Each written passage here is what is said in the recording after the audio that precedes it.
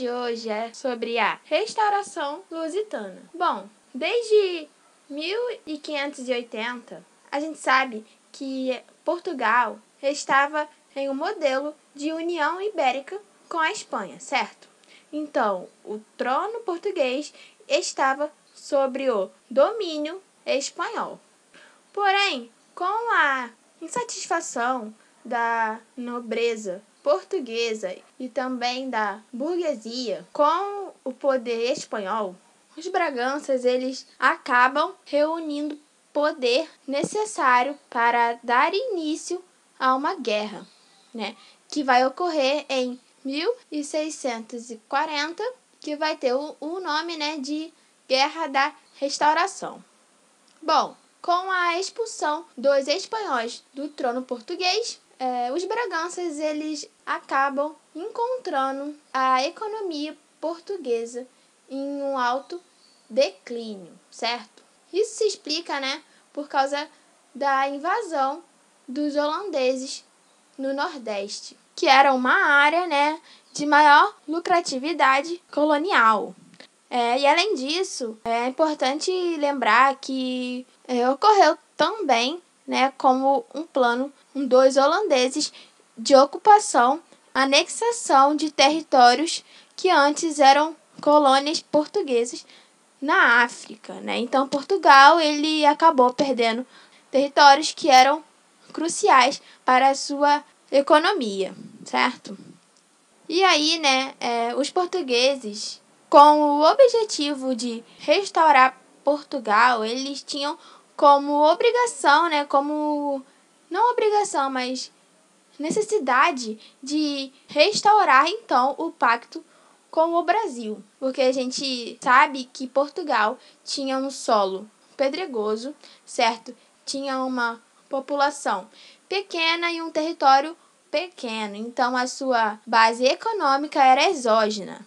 Então, para restaurar a economia portuguesa, era necessário que houvesse uma restauração do pacto com o Brasil, né? E aí, é, a primeira atitude feita, né, por esses portugueses foi a de criar o Conselho Ultramarino, né, que tinha como função reorganizar a administração portuguesa no Brasil. Então esse um conselho ele vai ter como objetivo fazer alterações administrativas no Brasil. Dessas alterações, três medidas foram as mais importantes. A primeira foi a de criar os conselhos municipais. E a segunda foi que eles modificaram muitos donatários no Brasil. E a terceira foi de criar companhias de comércio privilegiadas, certo? Bom, em relação à primeira medida, né, que era de criar os conselhos municipais. Bom, a ideia era que esses conselhos eles fossem tipo uma espécie de câmara municipal, porém sem ter o poder de fazer leis. Né? Lembrando a nossa aula de sistema administrativo colonial, em que eu explico né, que devido à, dificuldade da coroa portuguesa de controlar todo o território colonial, acabaram surgindo poderes autônomos, né, que eram essas câmaras municipais.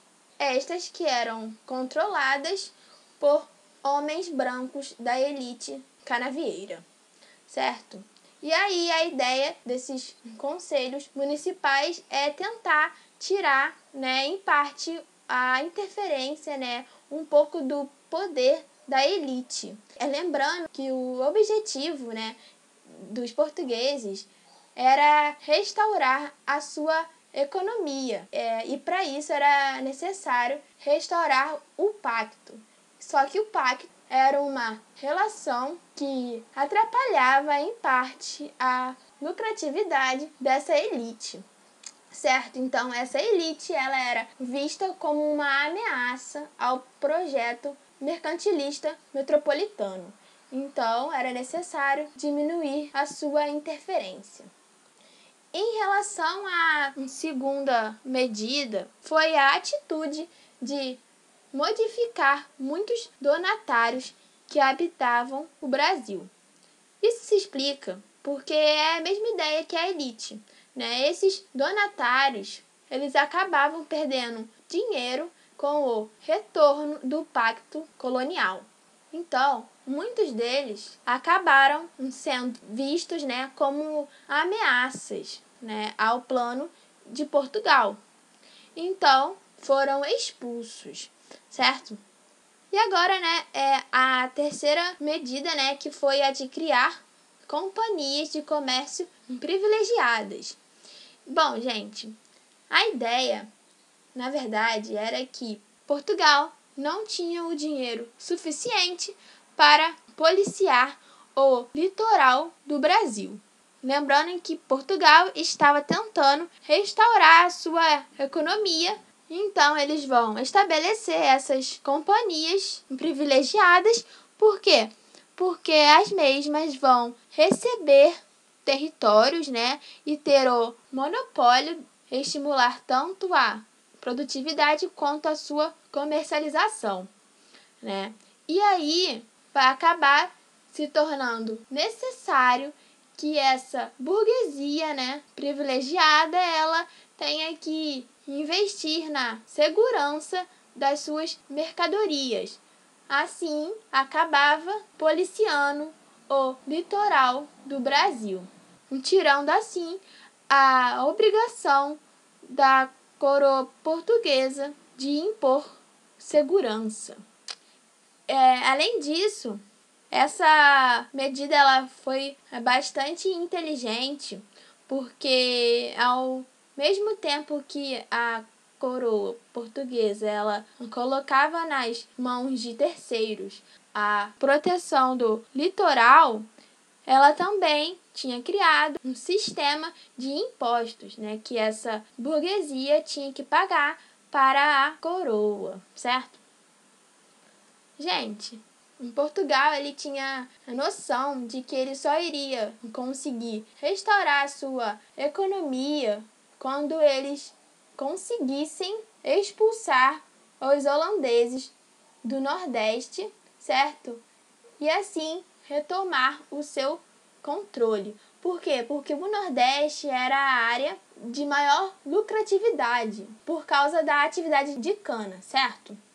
E aí, esses portugueses eles vão usufruir da situação que a ocupação holandesa estava.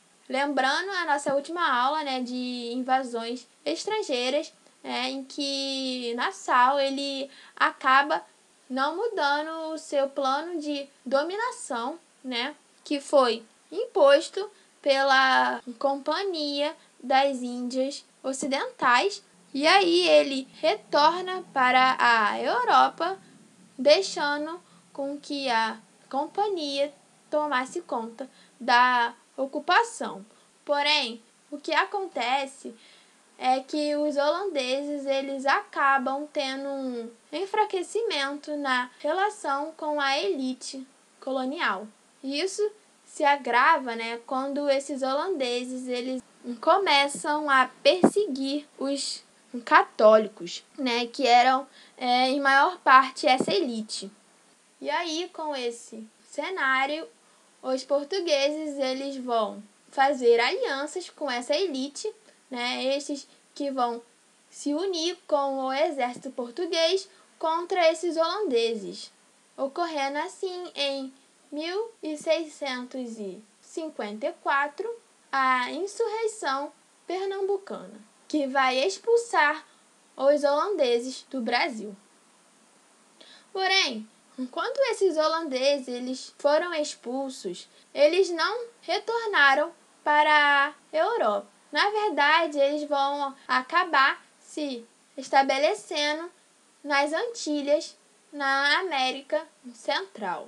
Lá eles vão investir na atividade de cana, que vai acabar tendo sucesso. Isso se explica por causa da grande experiência que foi adquirida nos 20 anos de contato com a atividade no Brasil, assim como o alto capital que foi acumulado né, com a sua ocupação no Brasil.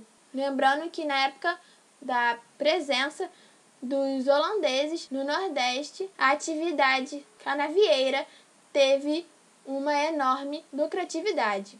Esta que vai ser importante para a atividade nas Antilhas. Outro ponto também foi que, com a expulsão dos holandeses, os portugueses, ao retornarem para o Nordeste, eles vão perseguir os judeus.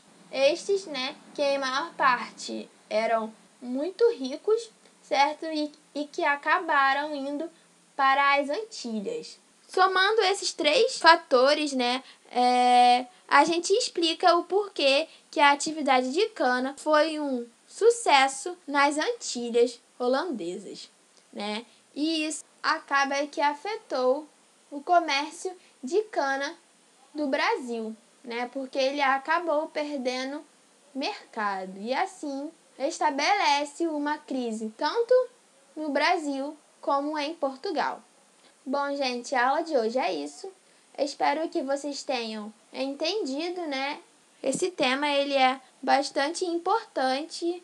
É legal deixar claro, né, que a atividade de cana ela vai entrar em crise, porém ela nunca vai sumir no Brasil, e sim ela vai entrar em momentos de crise e de melhora e estanque, né?